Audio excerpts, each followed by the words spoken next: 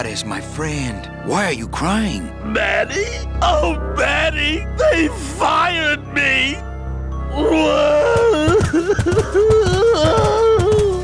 Me too, buddy. You don't understand, Manny. I was created just to do that job.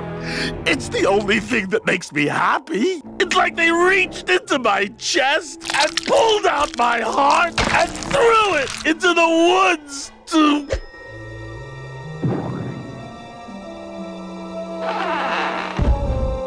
Glottis, what have you done? Oh, Glottis.